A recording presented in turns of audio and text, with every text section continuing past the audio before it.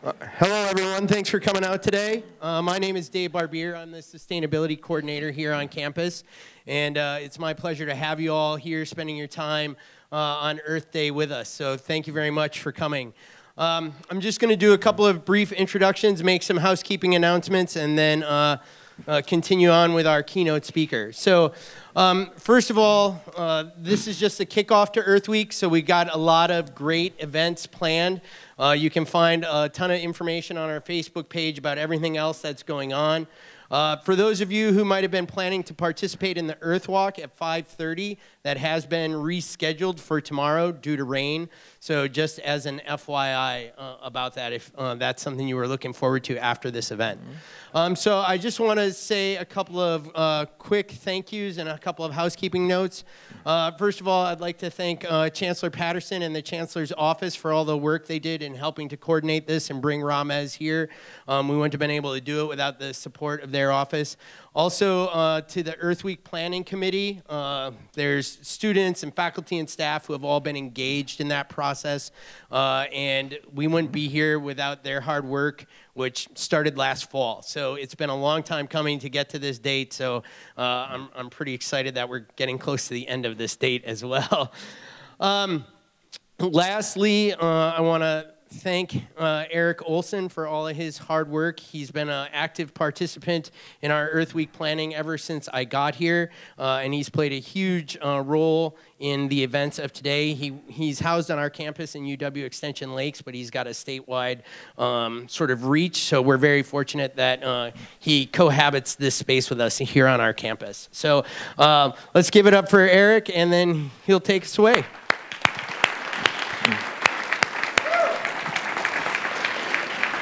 Thanks, Dave. No one's really here to see, hear me talk, I imagine, um, so I'm going to try and keep it really short. One uh, group that we do also need to thank is actually at UW-Madison. At UW-Madison, just for the last, I think, uh, 18 months, they've had a, a, Tommy G. Thompson Center on Public Leadership.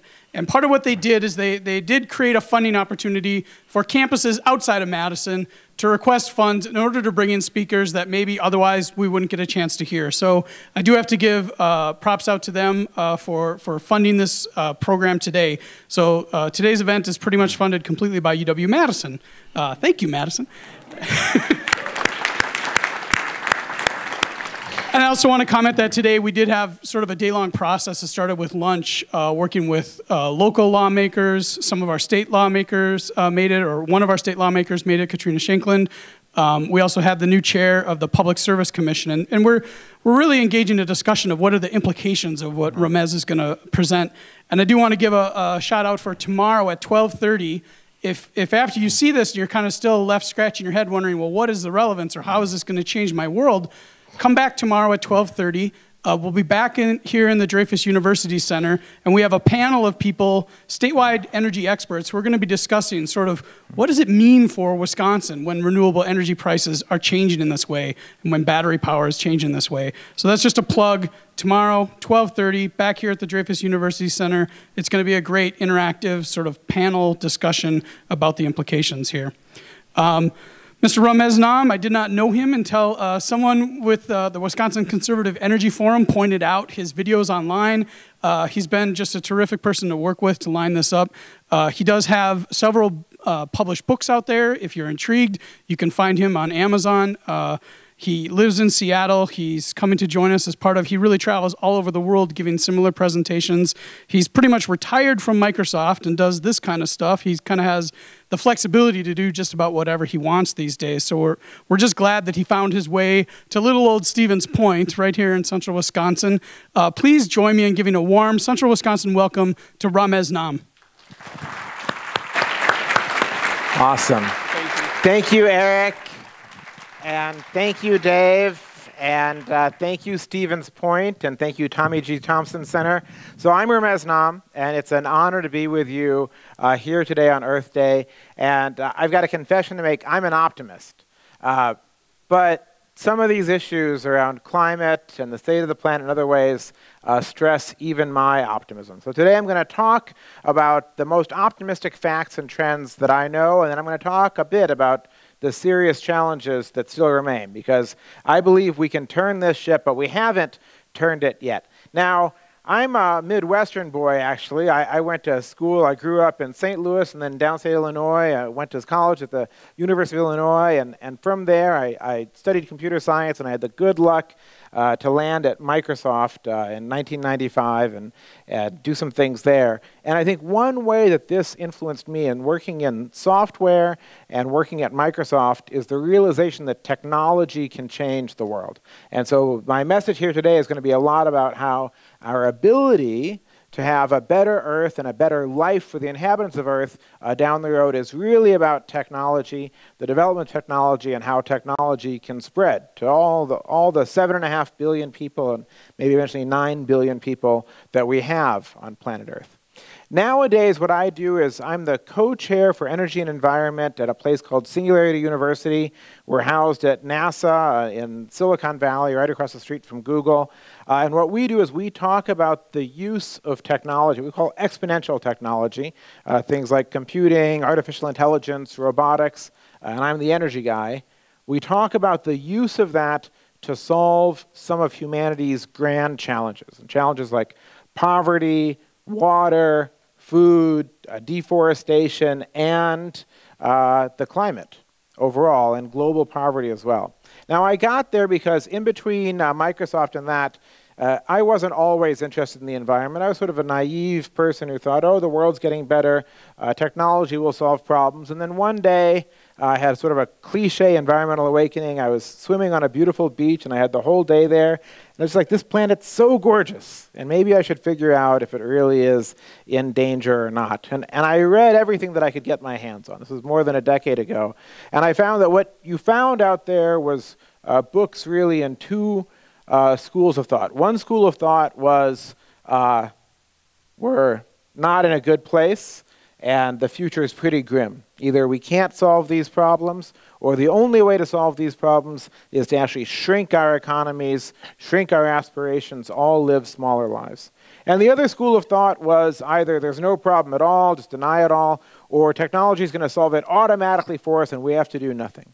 And to my eye, as I read everything that I could, it was clear that neither of those was true. That the problems are really, really large, and yet our ability to innovate uh, both in technology and in policy and how we build our cities, all of that is also incredible if we put our minds to it. And I gravitated uh, in this book and since then really to the topic of energy, because energy, the, the late great economist Julian Simon called it the master resource. What he meant by that was if you have enough energy, you can solve an awful lot of other problems. You can solve a lot of poverty, you can address issues with water by desalinating. You can grow more food on the same land. Uh, people, farmers in America, grow four times as much food per acre as farmers in Bangladesh. And it's not because our soil is any better. It's because we have tractors and we have fertilizers and things like that uh, that all take energy. So, so many, not all, but so many of the world's challenges uh, can be met if we have abundant, cheap energy. And yet, despite that, we're in the 21st century, and around the world, there's 1.2 billion people that don't have electricity at all. And probably another billion people that can't have some electricity, but can't count on the lights being on when they, they flip them on. And then the flip side of that is the way that we produce energy today has these massive problems. And the one we probably don't talk about enough is air pollution. This uh, from the World Health Organization, they actually updated this number to six and a half million people per year die from the effects of air pollution. Some of it's from burning wood, but most of it's coal and diesel, really. Now, anybody have a guess of uh, what's the worldwide death toll from all murder and warfare per year? Anybody want to guess? Toss out a number. It's all good. A million. It's about half a million. So this is more than 10 times as many people are killed by air pollution each year as are killed by warfare and, and human-on-human violence. We don't talk about that. And then there's this other challenge that we're all wrestling with, which is the planet has a fever. Scientists say uh, that sort of line in the sand that's been drawn is 2 degrees Celsius, maybe even 1.5 degrees Celsius, and we've warmed more or less 1 degree Celsius, 2 degrees Fahrenheit, since the pre industrial era. And of course, climate's a noisy system. Uh, it's not a very smooth graph. You see temperature each year sort of bounces around, but as you zoom out, it's obvious that it's going up and up and up. And the four warmest years uh, in modern history, for the last 120 years or so since we started measuring, are all in the last four years.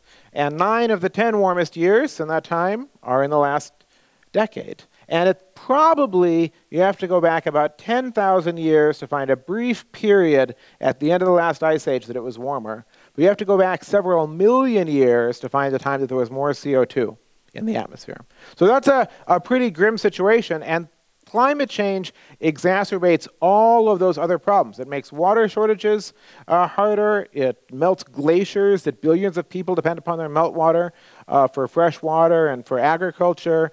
It uh, puts pressure on forests. It's killing coral reefs as it warms and warms and warms. So, how the heck can I be an optimist?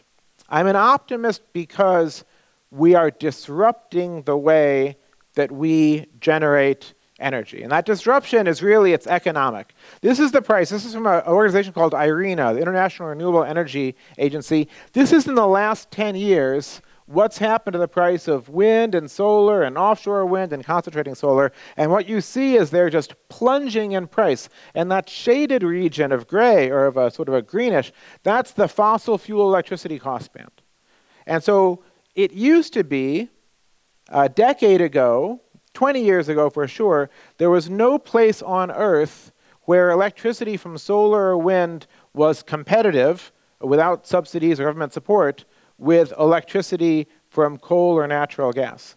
And that has changed. Really, almost before 2015, it wasn't true. And then in an eye blink, we've gone from solar and wind, sort of the first phase of their development, being entirely policy dependent from 1980 to 2015, to now they're competitive.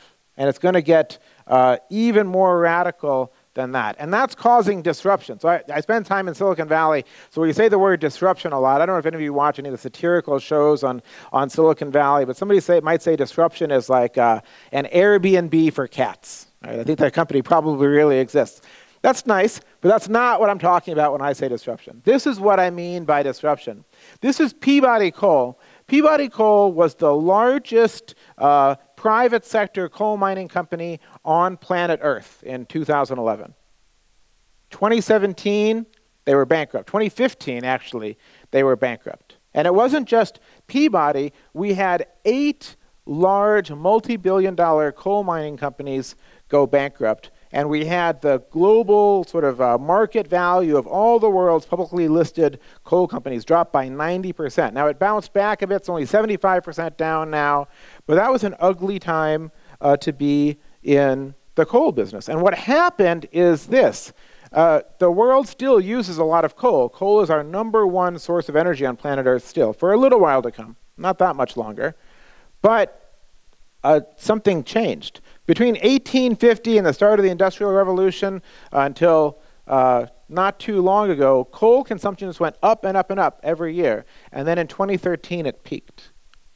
And it hasn't hit that level again ever since. It's sort of bouncing around on a plateau. It went up a little bit in 2017 and 2018, but still short of that peak in 2013. And when you're selling a commodity into uh, a market that's shrinking instead of growing, you're in a different sort of business. And so that, that economic disruption has come to coal, and as I'll talk about it later, it's going to come to oil as well, and it's going to come to natural gas. And fundamentally, when clean energy is the cheapest energy, it's what will get deployed. Now, this really started because the world got more efficient.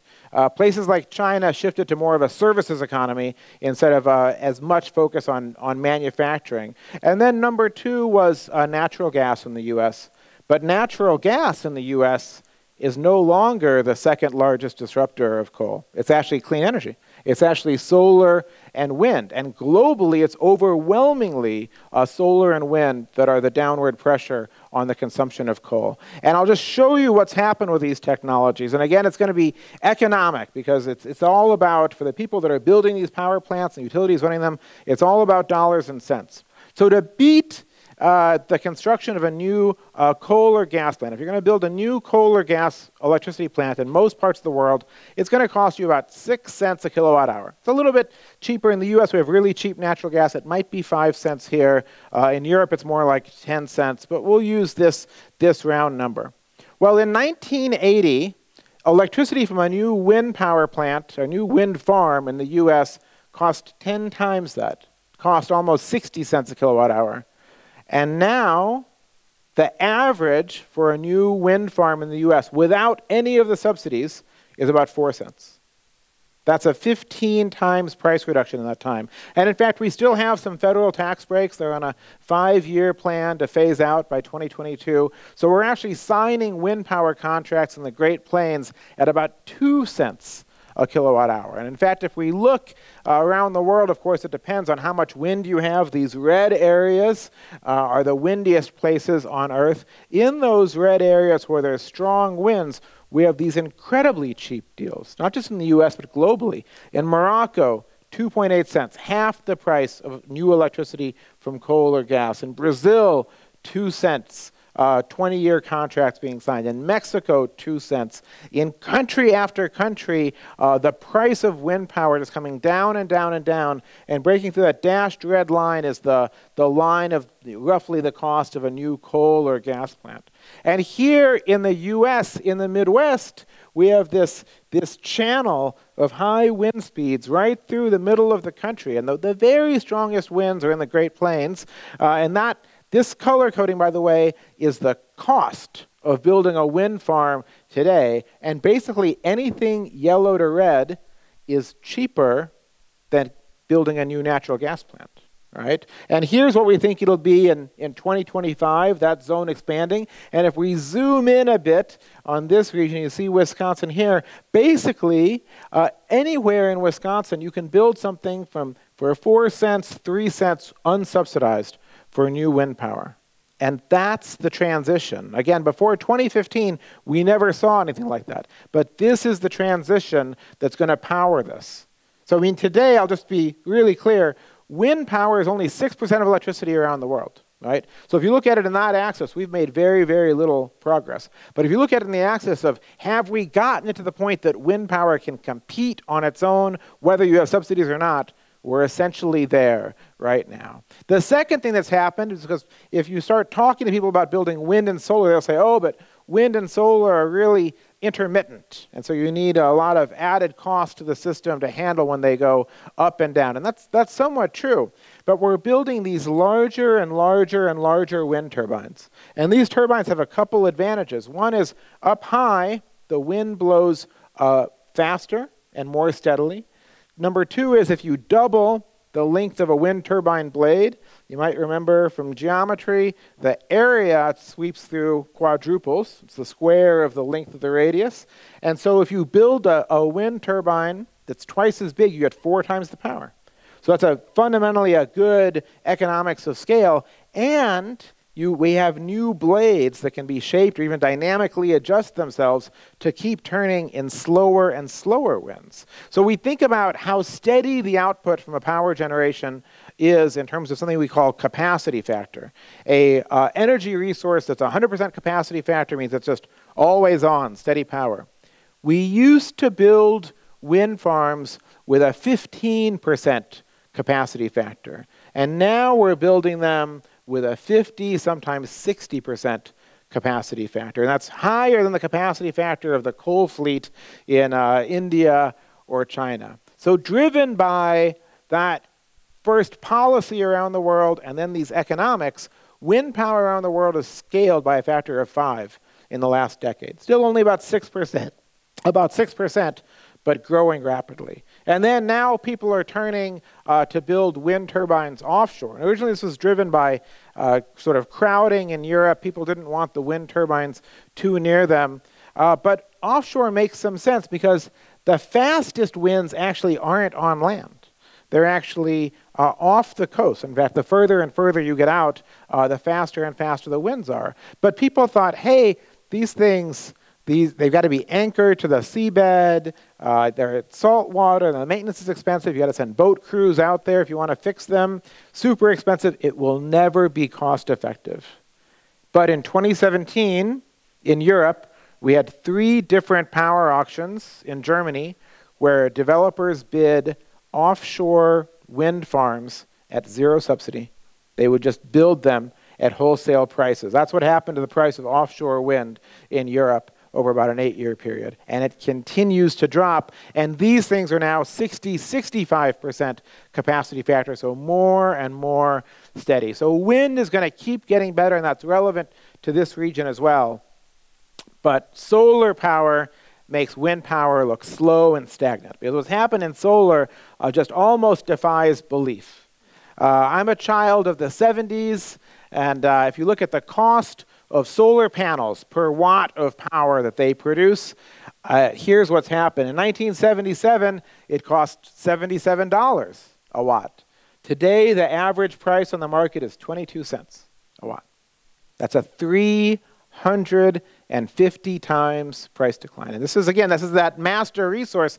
This is the fundamental thing we need to run our factories, our businesses, our, our data centers, eventually to fuel our cars. But you don't see this happening in the price of building roads or building bridges. This is almost like what's happened in, in digital technology happening in a physical technology. And so now we're hitting crossover where in the sunny parts of the world, without subsidies, Solar is just the cheapest energy you can buy and dropping in price the fastest. So again, you got to beat that six cent number. Uh, India, so China was the, the first country, the big coal user to sort of taper off.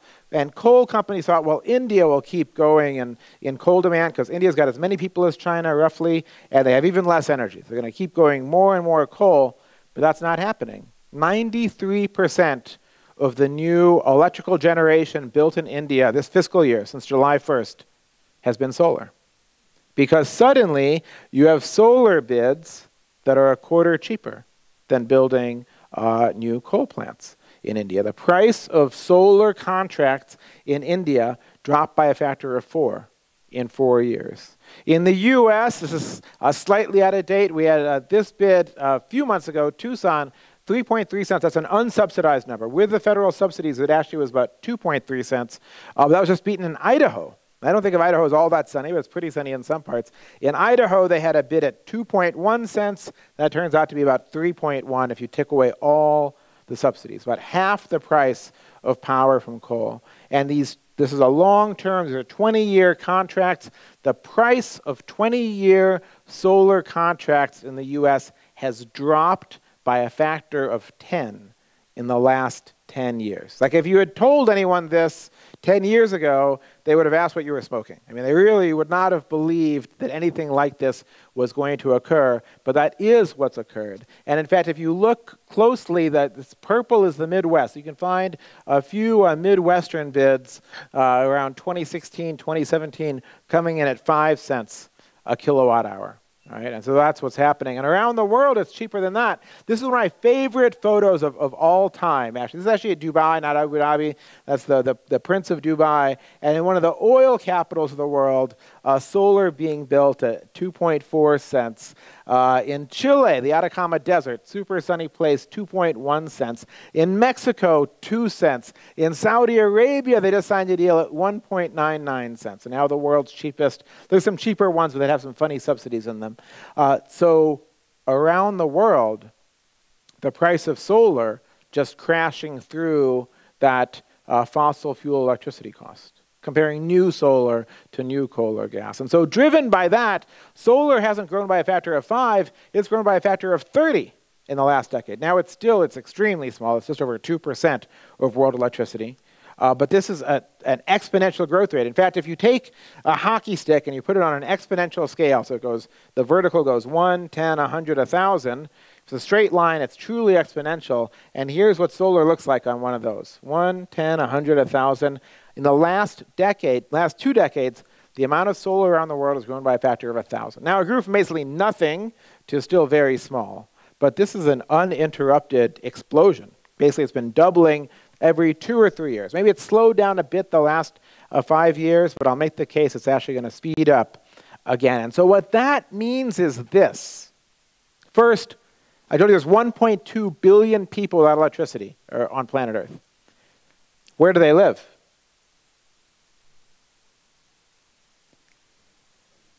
Sunny places, yeah. Sub Saharan Africa, uh, India, Southeast Asia, a few in Latin America. So some of the poorest people on Earth are eventually going to have some of the cheapest electricity on Earth. That's a lucky accident, but we'll take it.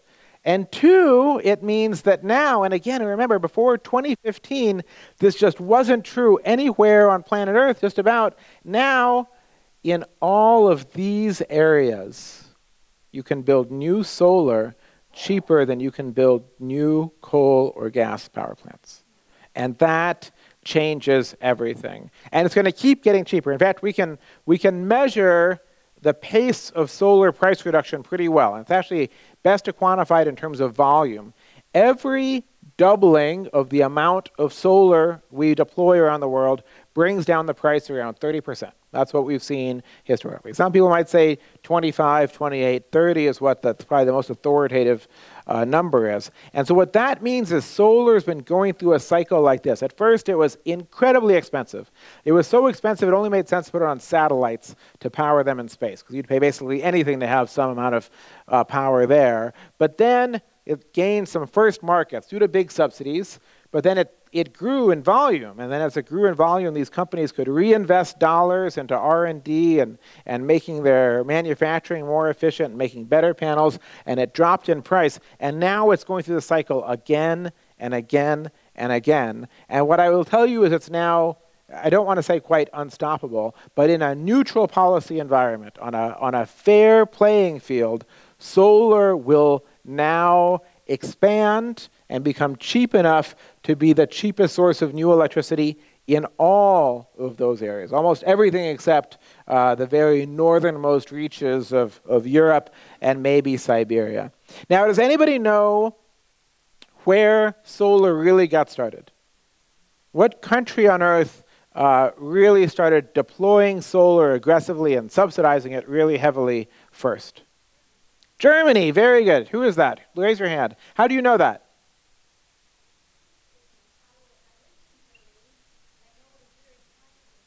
It is a dreary climate because this is the sunlight of Europe and Germany's like right here, and Germany's not a very sunny place, right? And so the Europeans actually uh, spent a couple hundred billion euros subsidizing solar and wind. Germany, Spain, Italy, especially, uh, starting in the, the 2000s when solar cost 20 times what it does today in a place that has uh, you know, less sun than most parts of Canada. And at the end of that period, when you got to about 2015, you could say, what did they get for it?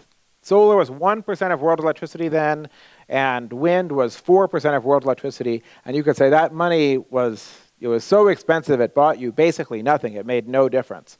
Except that it drove down the price to the point that the rest of the world could start deploying it profitably. And so what you saw is eventually in all these European countries, they just couldn't bear the subsidies anymore. Taxpayers revolted. And so across Europe, by the early, you know, 2012, let's say, solar uh, stopped growing.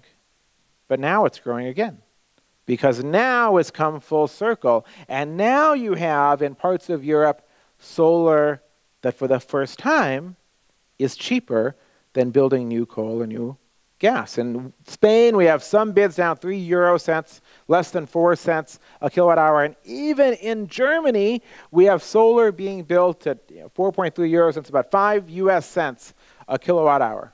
And natural gas is super expensive there, and coal is expensive there. So that's the cheapest new electricity you can build in Germany.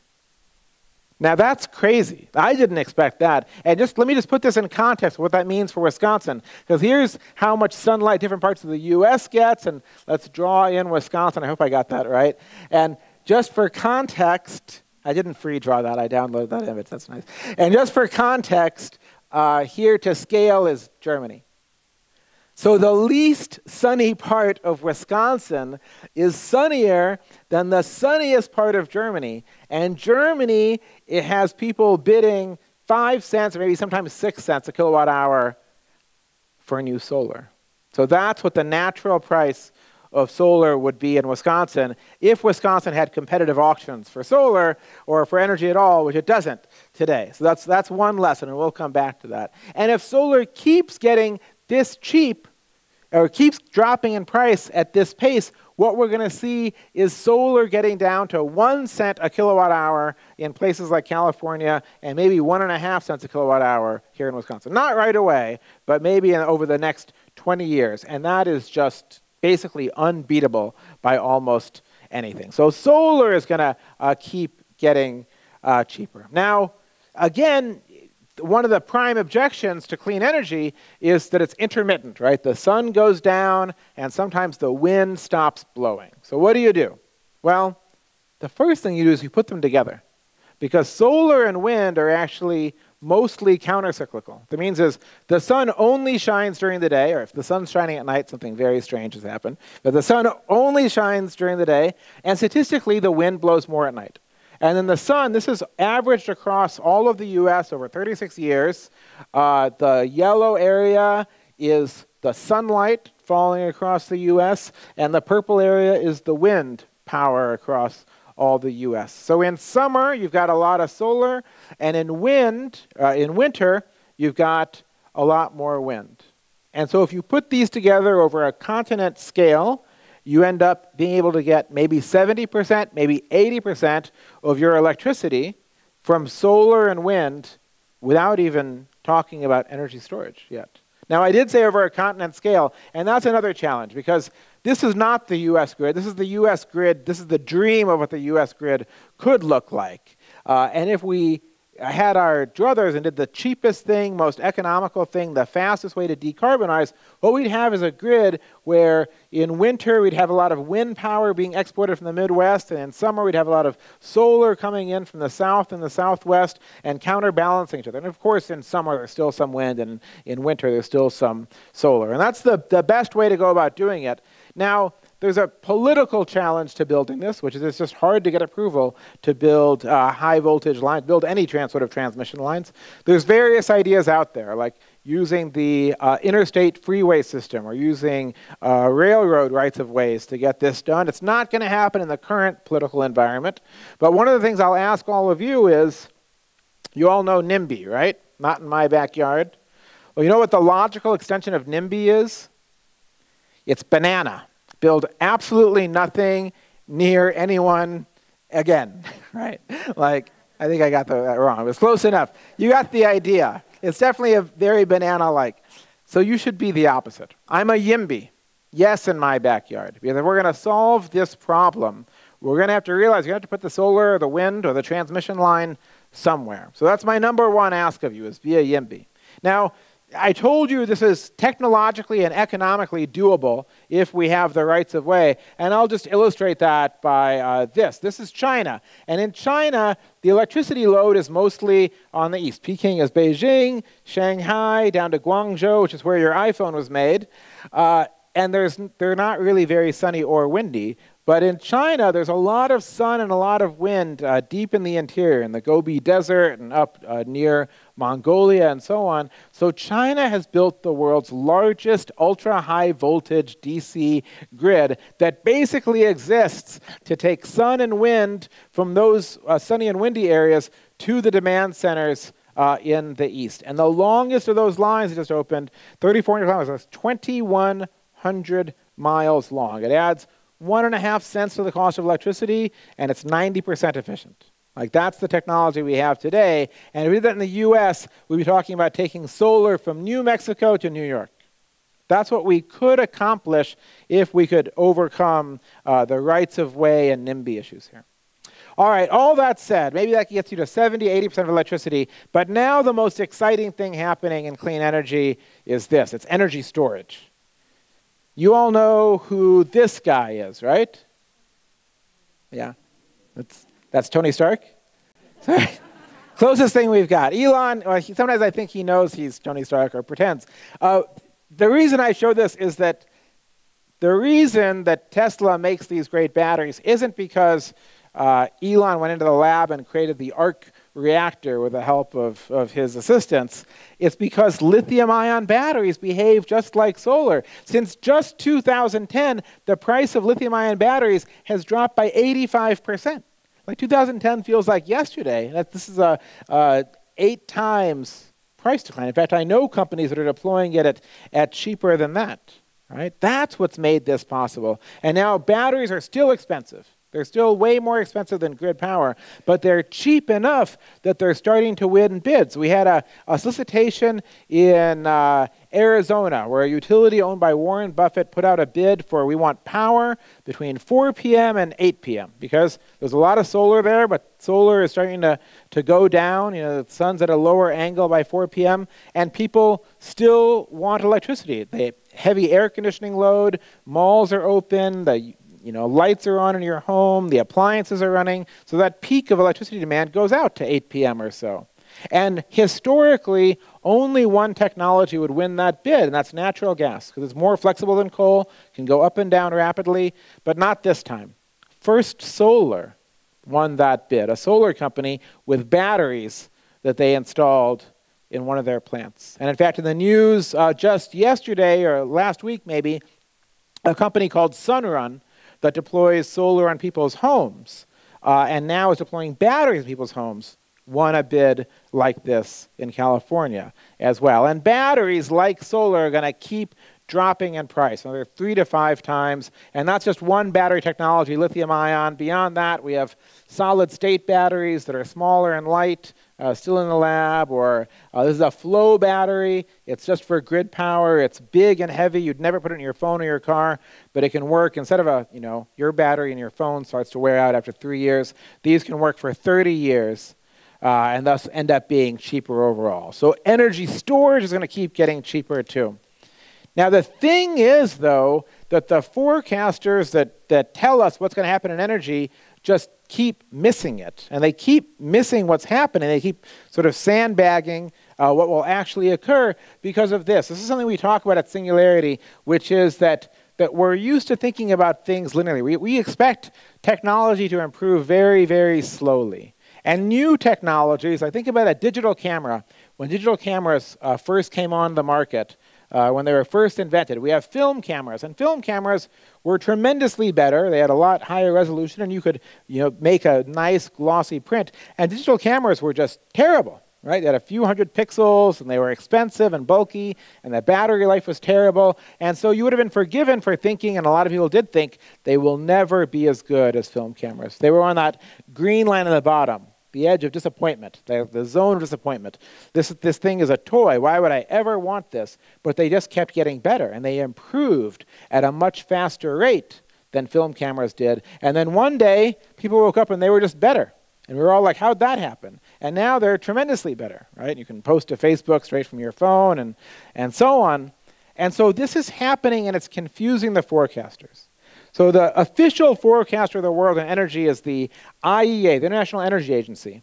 And the IEA is not what I would call uh, a uh, uh, very progressive organization, right? Let me, I'm going to show you what the IEA predicts for the growth of solar around the world every year versus what's actually happened. Every year, the IEA puts out a report called the WEO, the World Energy Outlook. And in that report, they forecast how much solar will the world install every year henceforth. And so the black line going up is how much solar the world has actually installed every year, and the colored lines are each year's forecast from the IEA of what would actually happen uh, with solar installations every year. Now, do you see a problem here? It's like some uh, analyst with Excel is like going to last year's formula and hitting copy paste. Right? That's not a methodology. And fundamentally, they're missing because they don't understand the cost decline. This is the US EIA, the equivalent of it, and those colored lines are their forecasts of successive years of what would happen with solar cost. And they basically say every year, oh, solar is not going to get any cheaper than it is now. And every year it does, right? Or I mentioned offshore wind. Here's the IEA. Here's a forecast they made in 2017 of how cheap offshore wind would get. And then here's what actually happened. By you know, bids the next year were cheaper than what the IEA thought would happen in 2040. All right. Or here's batteries, probably the best of these. Here's the U.S. EIA, that part of the U.S. Department of Energy. Uh, here's their forecast for what would happen with lithium-ion battery prices. So it's going to be amazing. They're going to drop in cost by a third by 2048. Uh, and then the blue and, and red lines are some big optimists. Bloomberg New Energy Finance, Navigant, these are think tanks or publishers that are very optimistic about clean energy. And they said, well, batteries are going to drop a lot faster than that. Here's what actually happened. It happened even twice as fast as the optimists thought. So trust the innovators and not the forecasters. The forecasters have status quo bias. They expect the future to look like the past, and it doesn't, not in this area of clean energy. I prefer this. This is a hindcast. This is from Alliance Bernstein. Alliance Bernstein are not environmentalists. They're a private equity group in New York. They're about money, and that's really all they're about, is investing in, in, a way that makes sense. And they created this chart about three years ago. It's called Welcome to the Terrordome. And they're telling their clients to be very, very afraid.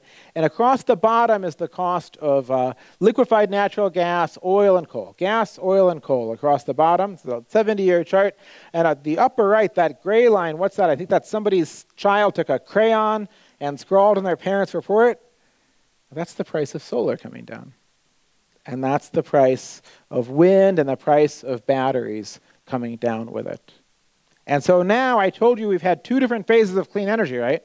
Phase one was was entirely subsidy dependent, it was entirely policy dependent. Clean energy only got deployed because Europe, especially, just subsidized the heck out of it. And then phase two was around 2015, it got competitive. And in some parts of the world, it was cheaper to build new solar or wind than to build uh, new coal or gas. Those are the first two phases. But now we're about to enter something else, a third phase, where it's cheaper to build solar or wind than to keep existing coal or gas plants running. And I'm a science fiction writer. That probably sounds like science fiction, right? But it's not me saying it. I was actually skeptical this would ever happen. So here's somebody saying it. This is Jim Robo, the CEO, of NextEra, one of the biggest utilities in the US. He said it uh, February 2018. He said by the early 2020s, it'd be cheaper to build new solar and wind than to keep their existing coal plants running. And then a think tank called Carbon Tracker did the numbers. They said here's the operating cost of coal in the US, and here's the cost of new solar, and it agrees. But it didn't take till the early 2020s. Because in October of last year, a utility in northern Indiana called NIPSCO put out their five year planning document, and they said this. They said the cheapest thing for them was they could save customers $4 billion by going from being 65% coal powered, which they are right now, to 15% in 2023, four years from now and that they would replace it not with natural gas, they've got some gas. All of their replacement would be solar, wind, batteries, and some flexible demand. That's crazy. That's really, really, really crazy. And the thing about NIPSCO is, and northern Indiana, is it's not that different than Wisconsin in some ways. Because they're 65% coal powered, Wisconsin is 50% coal powered. 25% of your electricity, nuclear, hydro, solar, and wind is carbon free. The rest is carbon, right? It's not that different from northern Indiana. And it's not that different in geography either, because here's Wisconsin, and I it didn't have time to put in the Indiana map, but it's more or less the same amount of sunlight that happens. And if we zoom in on wind, it's, it's more or less the same wind conditions in Wisconsin as it is in northern Indiana. So if NIPSCO can do it, if northern Indiana can do it, then Wisconsin can too.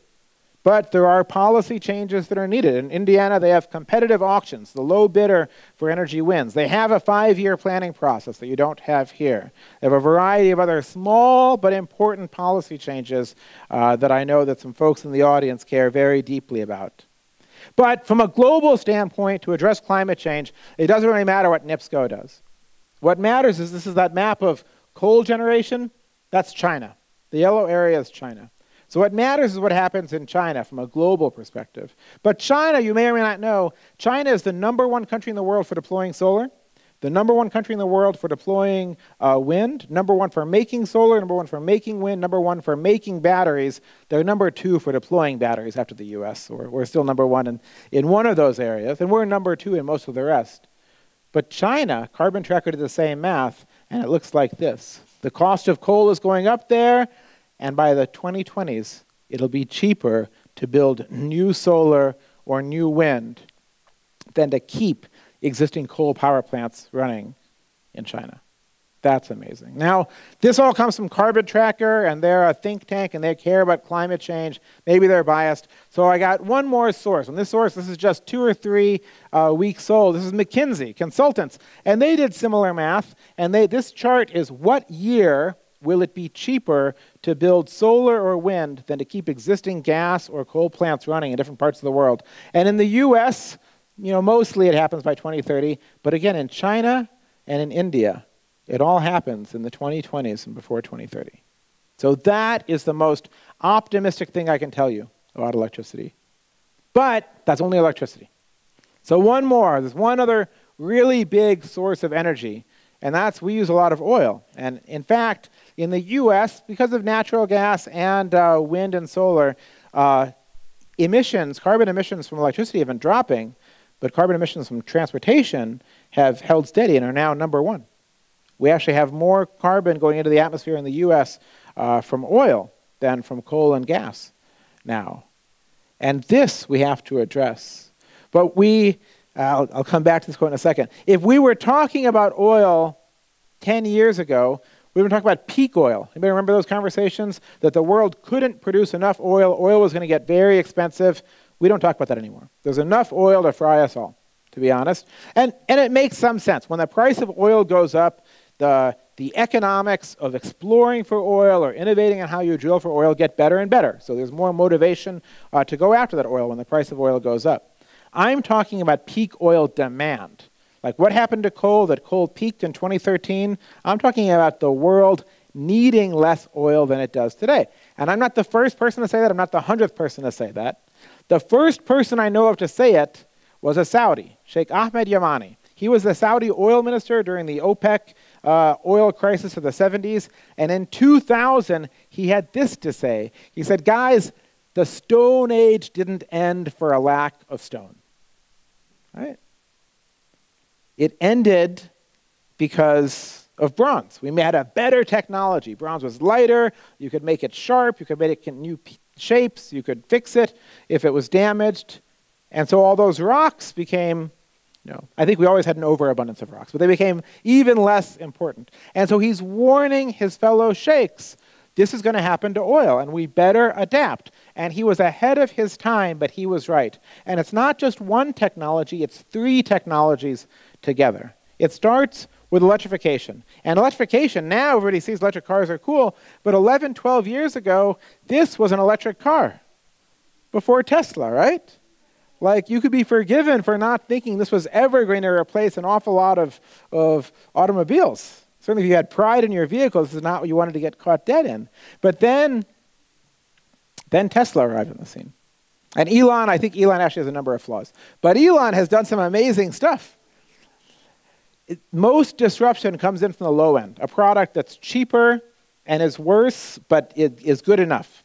But Elon Musk came in from the high end. He made a $250,000 uh, electric sports car that was the fastest car you could buy, and that turned into an $80,000 electric luxury car, first car to get 101 on Car and Driver, and that turned into a $35,000, like, you know, a nice car. The average price of a new car in the U.S., by the way, is 33500 is what the average uh, price people pay across all categories. And now Tesla, the Tesla Model S is the best-selling large luxury vehicle, and the Tesla Model 3 is the best-selling uh, small luxury vehicle in the world, right, and in the U.S. And it's not just Tesla. Six months ago, I would have told you, I don't know if Tesla's going to make it. They might go bankrupt. They still might. And I would, I would hate for that to happen, but it won't stop this revolution because now it's unleashed everybody. VW, uh, re- recoiling from Dieselgate, is spending $50 billion on electric vehicles over the next few years. The world's auto manufacturers, in sum, have about $255 billion that they're spending on electric vehicles. General Motors says its future is all electric, right? And this is crazy talk because electric vehicles, there's about a billion cars in the world, and only 5 million are electric today. That's one half of 1%. That's a rounding error. Like we had a graph of how much energy is used in transport, it'd be like a pixel. Right? It wouldn't matter. But the growth rate is off the hook. It took 18 years to sell the first million electric vehicles. It took 18 months to sell the second million. It took about uh, 10 months to sell the third million, six months for the fourth million, and four months for the fifth million. That's what exponential growth looks like. In the US, electric vehicle sales grew 81% last year, nearly doubled. With 1 million electric vehicles in the US right now, we're forecasting 12 million by five years from now, six years from now. Right? That's what's happening. And in fact, it's just like solar if you look at the forecasters. Here's what's happened over just three years of forecast changes from a variety of different organizations. OPEC lifted their forecast by a factor of 10. I thought that was neat.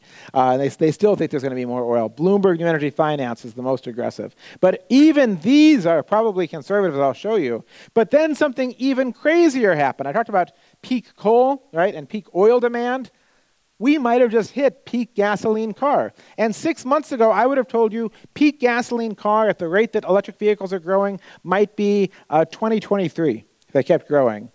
But it might have been 2017, right? Here's car sales around the world. And the ones in pink are gasoline, 77.7 million in 2017, and it was down in 2018 and it looks the forecast is going to be down in 2019. Some of that's just cyclic. Car sales have slowed down in China and so on. But meanwhile, electric vehicles are growing 60%, 70% a year. So all the growth in vehicle sales is electric. All right. All right, that's technology one. Number two is transport as a service. And I'll, I know Uber and Lyft are not super big in this area yet, but they'll, they'll probably get here. I'll tell you at home, I take a Lyft a lot. And the interesting thing about this is uh, Uber and Lyft in cities around the world didn't disrupt taxis. They grew a whole new market. Taxis in the US peaked at 1.4 billion rides a year. Uber and Lyft did three times that last year. Because it turns out that if you can always know where the vehicle is, you can retrieve your items, and you've got ratings and reviews and so on, and you don't need to deal with cash, people like it. And if it's about half the cost, because most of the world uh, it's about half the cost per mile to take an Uber or Lyft as it is a taxi. So people will use it for things that they just wouldn't have used a taxi for. So what does that have to do with electric? It's this. You're going to take the cheaper option, right? Electric is about to become or already is the cheapest option. If you look at the cost of an electric vehicle, not just the upfront cost, but the total cost per mile, and add in the electricity and the maintenance cost versus the gasoline, it's already cheaper. Here's the cost of a, a gasoline vehicle. The vehicle's cheap, but the fuel's expensive. Here's the cost over a four-year period, or one year if it's a taxi. The vehicle's more expensive up front, but the electricity is far cheaper because it's about 90% efficient. Your gasoline car is about 15% efficient. Your electric car is super efficient, right? And so if that's the case, then people who are really thinking about the cost per mile are going to switch to electric rapidly. And then we're going to have this cycle happen. The more electric cars we sell, uh, the cheaper they'll get. The cheaper they get, the more people will buy them. Uh, and then that means that they drop in price some more. And the ultimate thing I'll tell you is going to be really crazy is electric cars up front are about to be cheaper than gasoline cars. Now we think it's about 2021. And then far cheaper. And here's why. This is the engine and drivetrain of an electric vehicle. This is the engine and drivetrain of a gasoline vehicle. It's got about 20 times as many moving parts. So the only reason this is more expensive than this is batteries are expensive, and that's changing. And this is made in low volume, and this is made in high volume. And don't take my word for it. Here's Ford. Ford said in 2017, when they look at the manufacturing cost for electric vehicles versus gasoline, it takes half as much, half the factory floor space to make an electric car. It takes half the factory capital cost, the upfront cost of the factory, to make the same number of, vehicles if it's electric. And the labor cost drops by a third. Actually, the labor cost on the drivetrain is about one fifth as much, but you still have to make windshields and, and seats and stuff like that, so it still costs money. So that means electric vehicles are going to be cheaper up front. And we just saw the maintenance costs are lower. This is about two weeks ago. New York City put out this chart of their maintenance costs per year of different types of car. The gray cars are gasoline vehicles, and the green ones are electric vehicles. There's no belts. You don't have to change the oil. The only maintenance is you take it in, they rotate the tires. That's really it with an electric vehicle. And every decade you have to change the battery. So that means we're talking about a moment where electric vehicles on a per mile basis aren't 20% cheaper, but where they're half the cost, maybe by 2030. And that means uh, A, people driving Ubers and Lyfts or taxis are going to switch to them more rapidly, and that'll encourage more of us uh, to take these vehicles. Maybe not uh, in Stevens Point as much, but I'll tell you that in Seattle, where I live, if it's so cheap, it's cheaper than parking downtown for me to get into a Lyft. Lyft also offsets all the carbon from my ride, which is very nice. And then the third technology, which is really science fiction, and we don't need it, but if it happens, it makes things happen even faster, is autonomy, is self-driving cars. And self-driving cars are coming on faster uh, than most believe, I think. In December, uh, Waymo, Waymo is really Google. Google started, uh, they uh, commercialized their trial of self-driving in the suburbs of Phoenix. Phoenix is nice because there's no snow. It'll take a little bit longer to get to Wisconsin. No snow. The streets are wide. Uh, sunny all the time. It's a nice, easy environment for them. Uh, but there's a it's a closed beta. It's like Gmail was in the first days. But a few hundred families have this app called Waymo One, and they can call uh, like an Uber a self-driving uh, robot taxi that comes and picks them up. And then General Motors paid a billion dollars for this startup Cruise. When I'm in San Francisco, these cars go by me all the time. Uh, and then another investor, actually Honda, came and gave another $2 billion uh, to have a little piece of this startup. And Cruise just got approval from the, the Highway Safety Board to have a vehicle with no pedals and no steering wheel on the streets in all 50 states by the end of this year. And GM says they'll have an operating robot taxi service by the end of this year. Now, software companies yeah, and, and so on, we, we, we sell vapor sometimes, so I don't know if it'll really be this year. And, and Waymo had made it sound like they'd have it, anybody in Phoenix could use it, and it's not there yet. Maybe it'll take a little bit longer. But I think it'll happen within the next few years. And that's because I can quantify it. When these guys test in California, uh, they have a metric, which is they have to report to the state every year how many miles did I drive uh, in uh, my how many miles did my autonomous vehicle drives, and how many times did a human have to take over. And these human takeovers are they're not emergencies. They're not the human latching on. It's usually the vehicle gets confused and it stops or it pulls off to the side of the road, uh, and so they, it phones home or the safety driver has to take it over. Either they're easily confused sometimes. Like there's some good stories actually, and so so we have the numbers. In 2015, uh, Waymo drove about 1,500 miles per human intervention. Last year they drove 11,000 miles per human intervention, and Cruise and a variety of startups uh, coming up behind them. So another three years they could be at 50,000 miles per human intervention, and then they'd be something that a lot of people would be willing to take. Maybe they won't not go into crowded grocery store parking lots. They're not going to go off road. They might not come to rural areas, but in cities and suburbs that are well mapped, uh, in good weather at any rate, uh, they will come there and then they'll get better and better and better. And in fact, Tesla had some announcement today. I've been uh, in conversations all day. I haven't seen it. But Tesla's the other wild card. Tesla just deploys new software over the air. If you own a Tesla, you get an email that says your car has new features. And so Tesla, this is a 2017 Model S with software they've not released, uh, just driving around. And the guy's got doesn't have his hands on the wheel again. It's daylight, it's good weather, and so on. But this technology is coming. Okay, what does that have to do with anything? Well, it's cool, but half the cost per mile of an Uber or a Lyft is the driver. A taxi is about 350 a mile, and Uber or Lyft is about $1.50 a mile. Uh, without a driver, it's 75 cents. But I told you electric would be half the price. So now we're talking about 35 cents a mile to ride into one of these electric robo-taxis instead of 80 cents a mile, which is what it costs to own your vehicle. And why have a four-seater vehicle? The average number of people in a taxi is like 1.1. It could be a two-seater, or it could be, uh, we don't want that much congestion, everybody in a four-seater vehicle. We could have, uh, this is a vehicle I saw in Copenhagen, electric, autonomous, 12-seater uh, minibus. And those prices get down to ridiculous low numbers 10 to 15 cents a mile.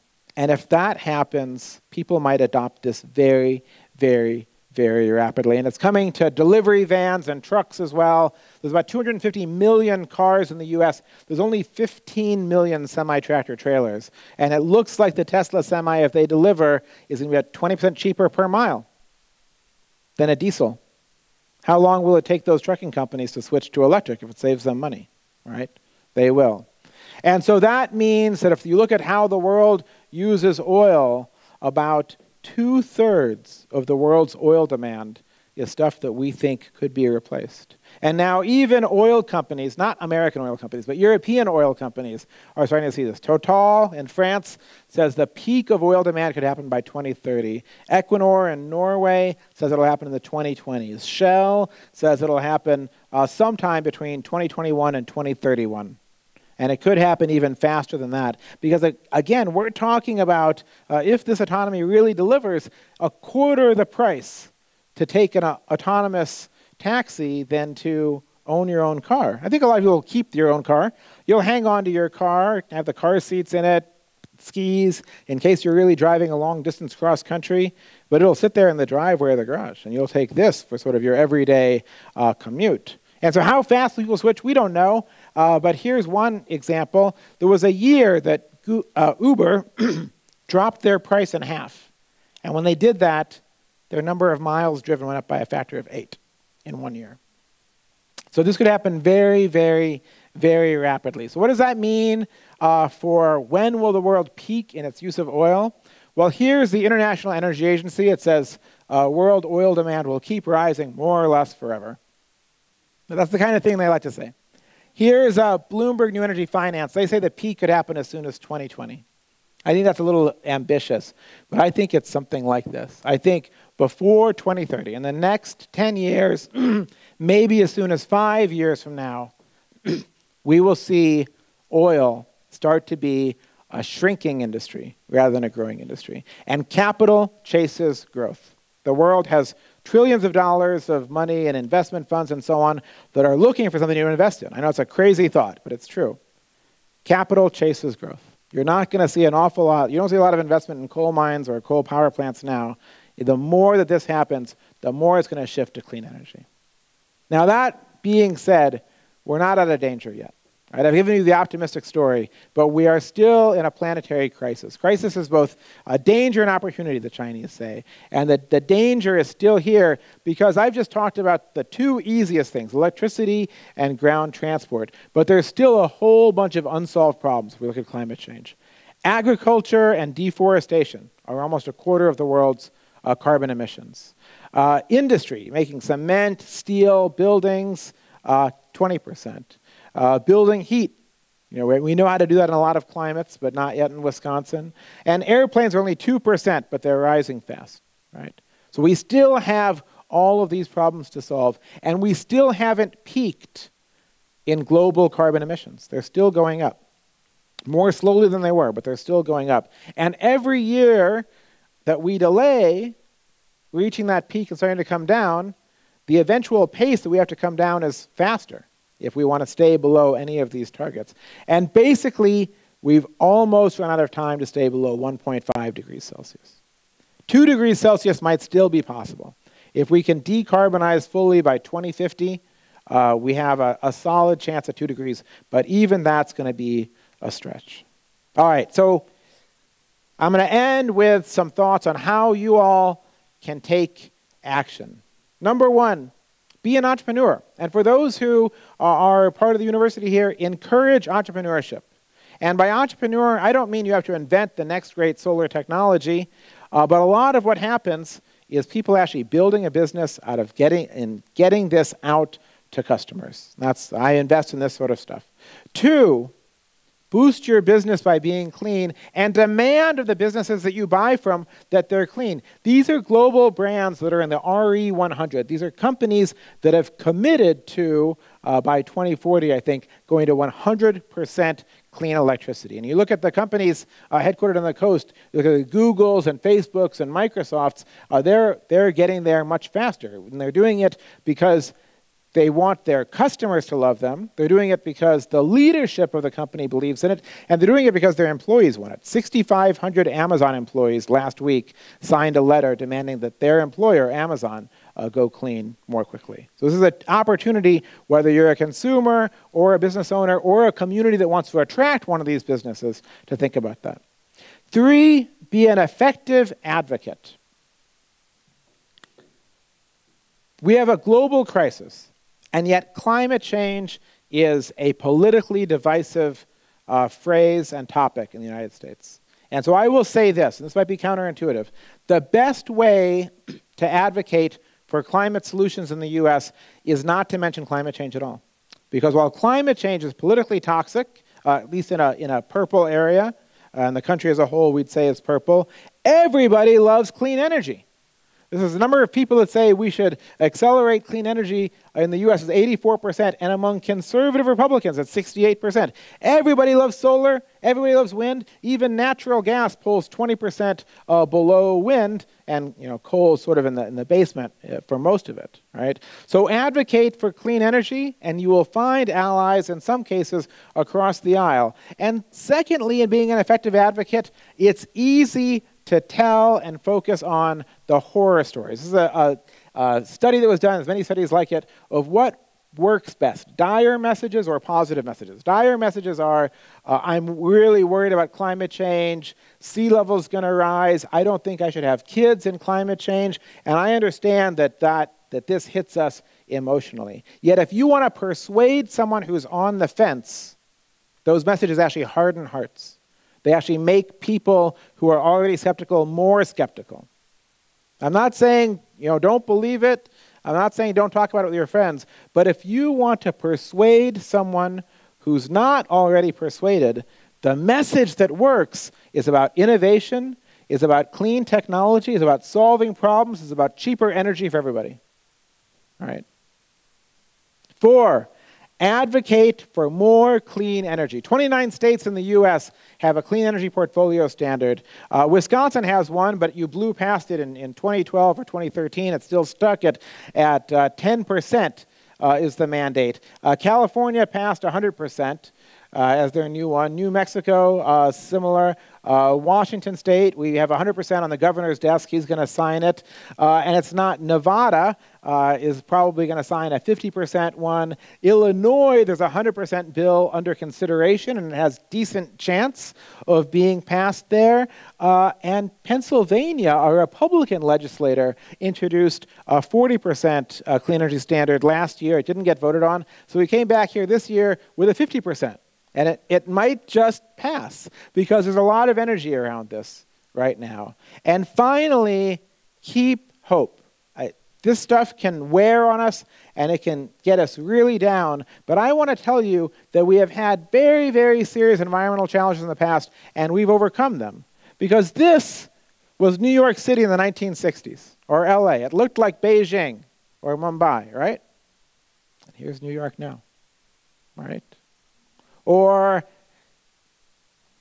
the problem we had on planet Earth that's probably the most similar to climate change in terms of its global scale was the ozone hole and the depletion of the ozone layer. And this is what uh, the ozone layer around the world looked like in 1989. And with no ozone, all life on Earth would end. I mean, it's, it's about as existential a risk as, as you can imagine. Uh, UV rays destroy DNA, and it turns out we have DNA, and it's not really good for it to get destroyed.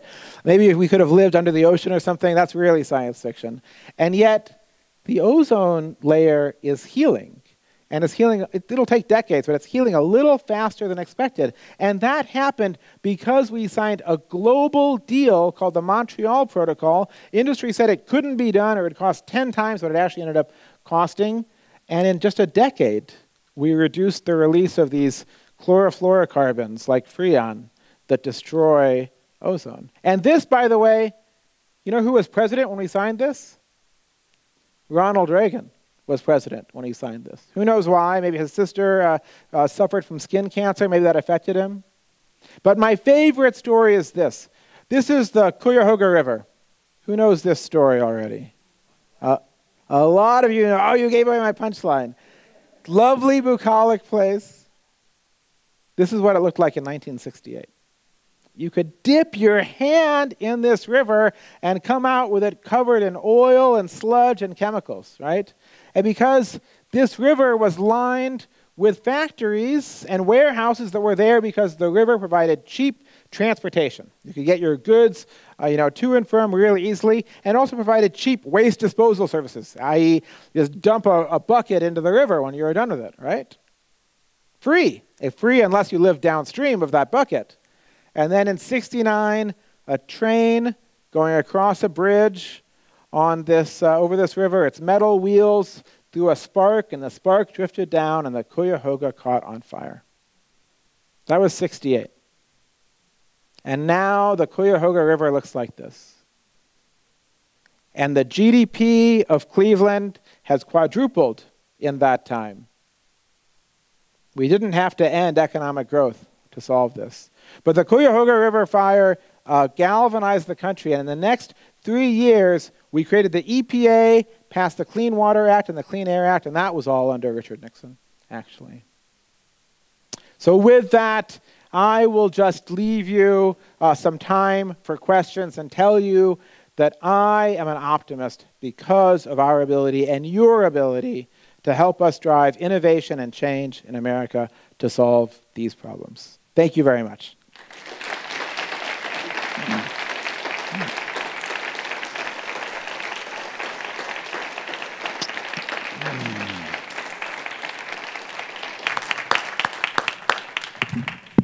And we do have time for folks to come up to these mics and ask questions. The microphones help just because there's going to be some sound as people have to head off for dinner or go to other classes. But if you want to come up to the front, grab a mic and ask Ramez a question.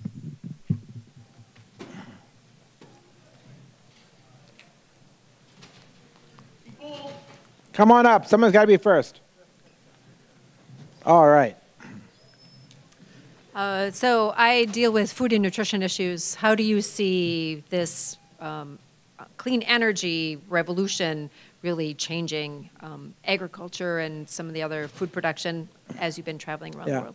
It's a good question. I mean, I think uh, clean energy has been very good for farmers across, you know, the Midwest and the Great Plains. You see farmers getting a second revenue stream from wind farms and so on uh, on their land. But I think one of the real opportunities is uh, the rest of the world, the developing world, uh, has a hard time producing as much food as we do. They don't have electricity, uh, they don't have fuel for tractors, they don't have fertilizer, and now we have companies making wind turbines uh, that turn wind power into ammonia that can be used as fertilizer uh, on field. Uh, we have electric. I've seen companies doing uh, electric or hybrid retrofits for tractors that save money and save fuel and save cost. So I think there's some intersection there. I- will add one more thing. Uh, the world, one of the drivers, the biggest driver of deforestation is cattle, but number two is biofuels. And uh, we still need to solve planes and maybe ships, but for cars, frankly, I think we should end biofuel subsidies uh, and just push on electric, and that would free up an awful lot of land to grow food for humans. Yeah. Thanks. Yes, please. Well, you, I mean, you mentioned that. I mean, I know I understand renewables create jobs, but at the same time, a lot of what you're talking about eliminates a lot of jobs. Yeah. Particularly for the low end uh, income strata. And so, what do you see the future of people being having a living wage to? Yeah. It's a really good question. So there's about a quarter million jobs in the solar industry in the U.S. right now, and it's rapidly growing. And if we did a deployment of solar uh, on the scale that we need to, on net, there would be a lot more jobs created. Uh, but, but there are real challenges. If you're a coal miner and you're in Virginia, Virginia might not be the place that we build uh, the most solar. It might not be where the new jobs are created.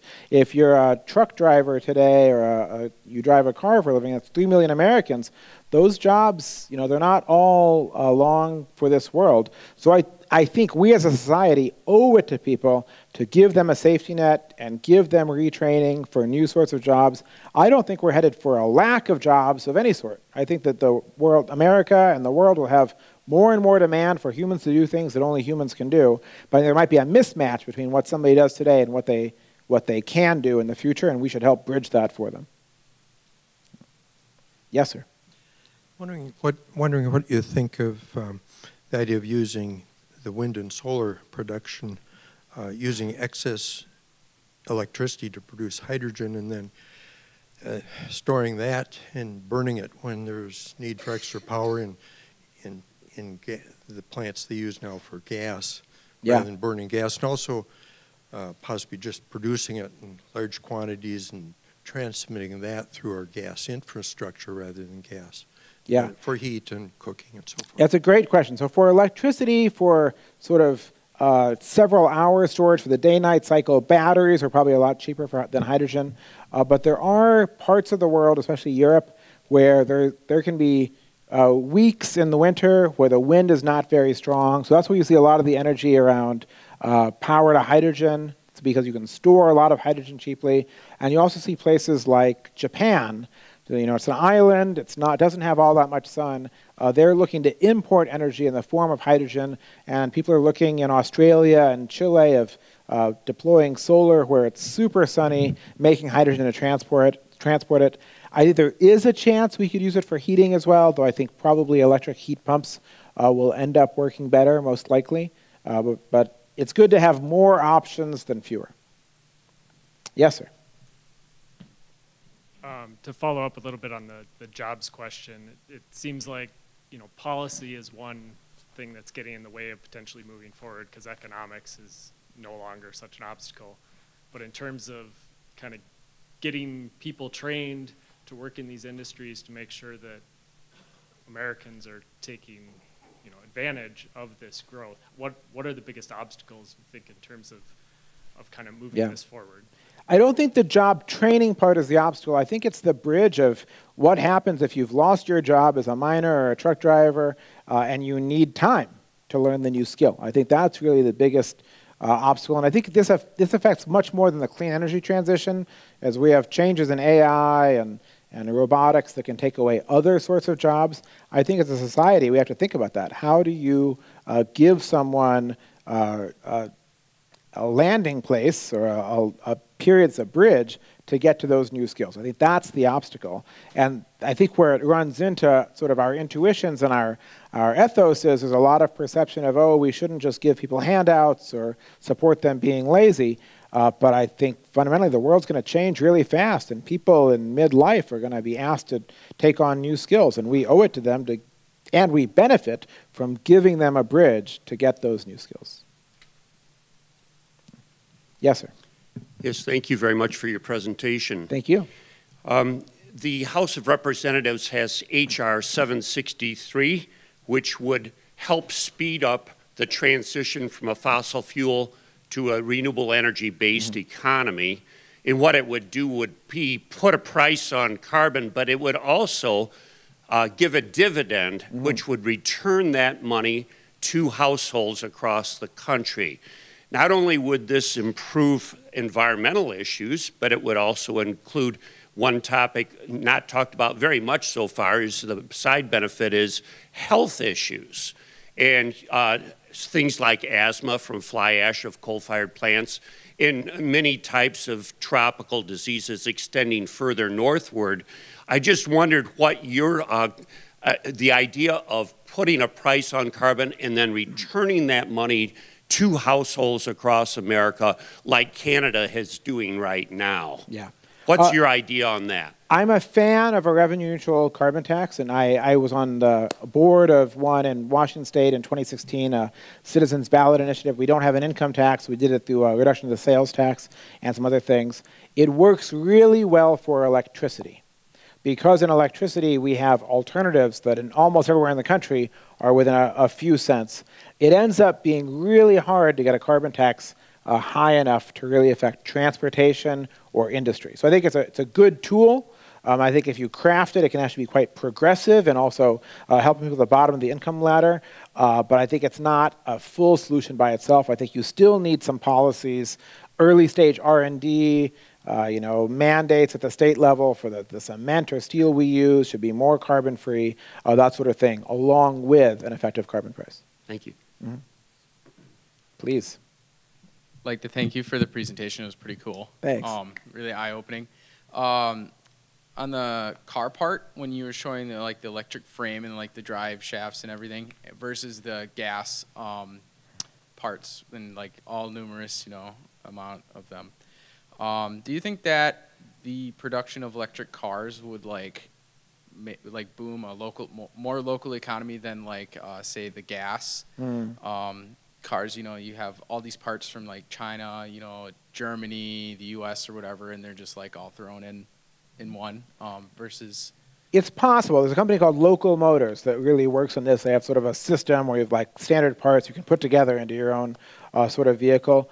But I still suspect that most cars were made in factories. If you make a factory to make a certain type of car, you can just be really efficient in manufacturing it, and the transportation of it is, is cheaper than the, the benefits that you get. okay. Yeah. Thank you. Thank you.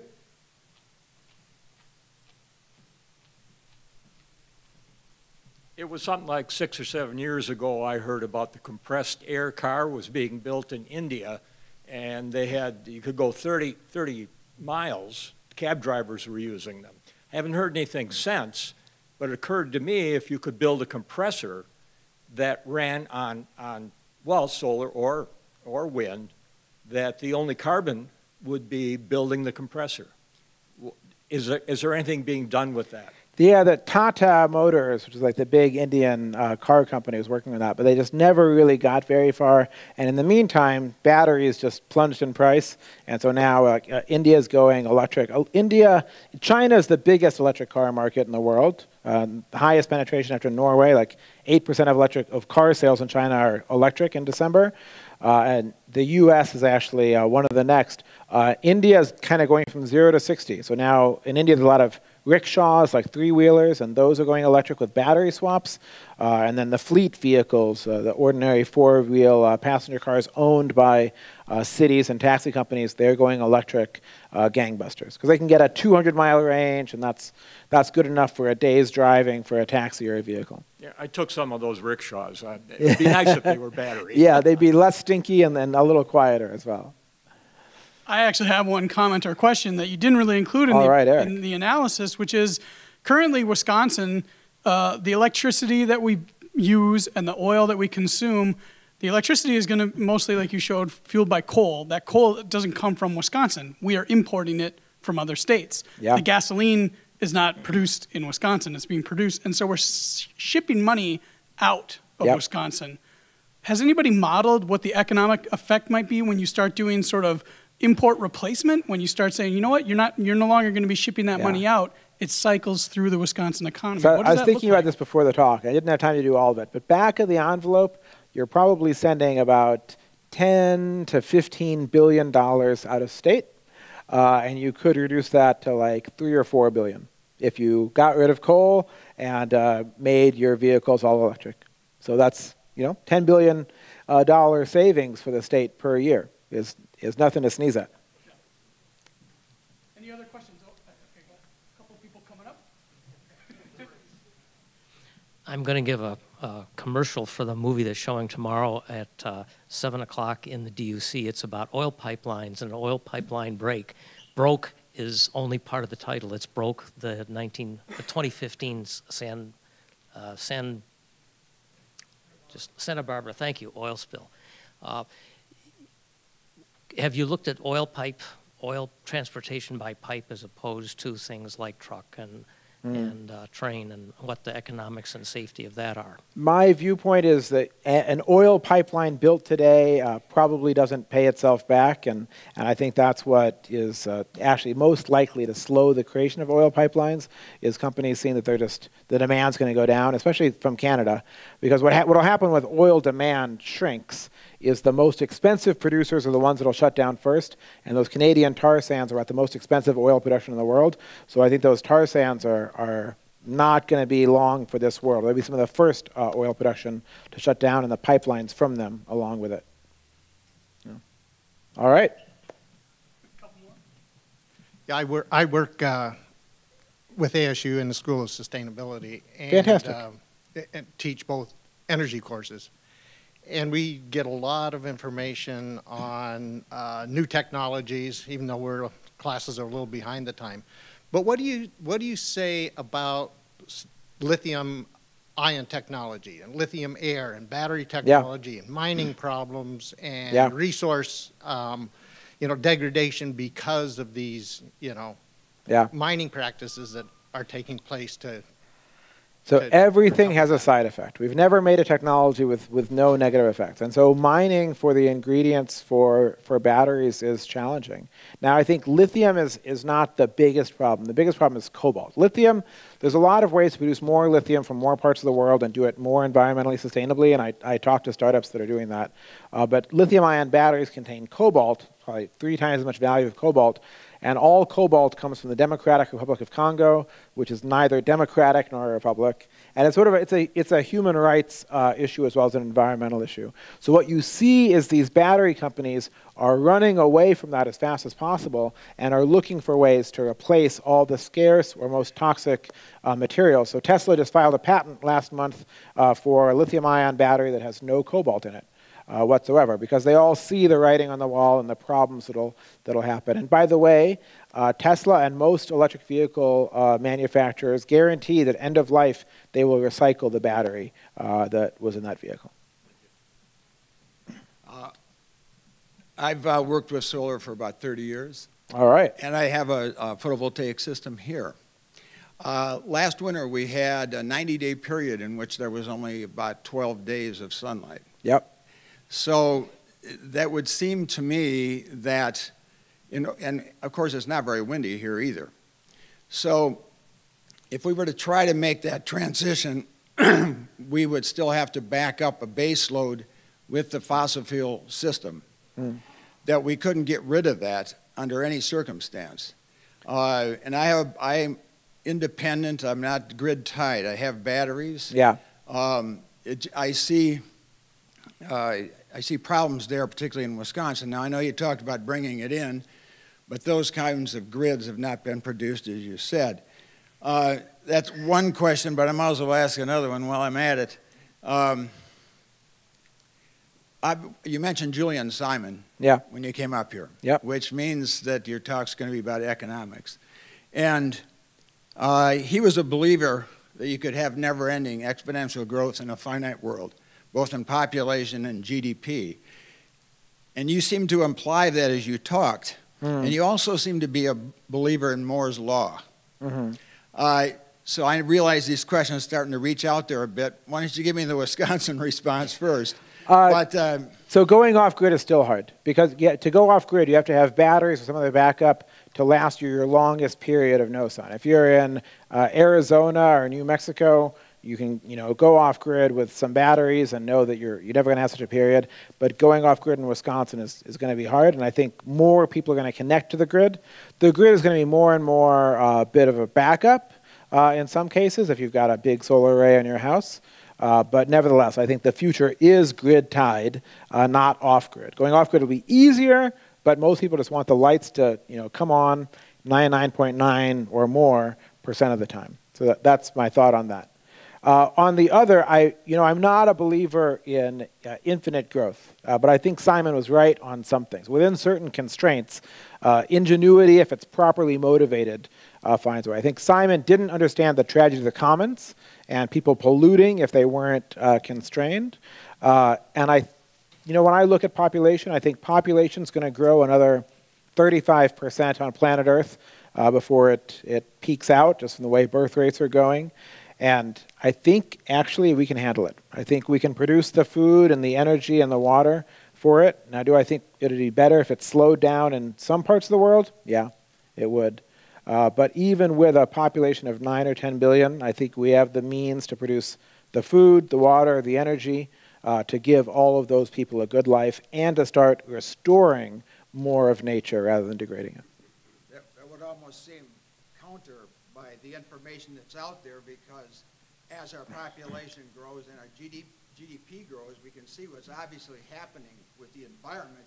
It's going down uh, exponentially in its quality. Well, in the U.S., uh, GDP and energy decoupled starting around 1970. So the average per capita energy use in the U.S. is lower than it was in 1970, even as GDP has roughly doubled. But so the reason for that is because we've offshored all of our dirty industries. It's nope. Oh, yes. I'll send you a paper. I'll give you my email. I'll send you a paper. That's maybe like three or four percent. Was there one last question over here? We'll make this the, the last question. All good. You kind of covered most of it already, but I was wondering, do you think that the clean technology is going to plateau with batteries and electric and solar? Because of all the byproducts and making Mm. batteries and whatnot, it's not really the best? Or do you think they're going to look at compressed air hydrogen, waste products turned into energy? Or are they I- just going to stay where they're at? I think we've got a variety of new things coming. I think in solar, I mean, in all of these areas, there's new technologies on the horizon. In solar, there's something called perovskite, uh, beyond silicon. In batteries, there's dozens of new battery chemistries coming. Uh, that one that I showed you in the big uh, uh, trucks is all iron and salt, so it's a lot more environmentally benign. And I think you're going to see things like floating wind. I think we're going to see some ocean energy, at least it's being developed, geothermal. So I don't think this is the complete picture, but but what I showed are sort of the, the, the ones that are in the lead and that we know have a chance uh, to scale globally right now. So then part of that is it's all run by economics. What's your opinion on what's the best investment if you want to invest in one of these companies? So it's, it's not all run by economics, but a, but a lot of it's run by economics. Um, I think the best investment is to not invest in fossil fuel companies. Well, obviously. Yeah, so I think If I got a million dollars, where do I put it? I wouldn't put it in one stock if that if you got a million dollars. You know- No, seriously, there are there are like tracking stocks in there and uh, ETFs, exchange traded funds that are just fossil fuel free, and I think that's a, a better way than picking any one stock. Thank you all very much. It was an honor to be here.